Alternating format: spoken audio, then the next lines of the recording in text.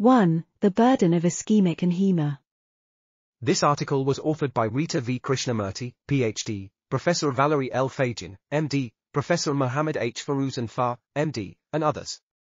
We are article.tv, links in the description below.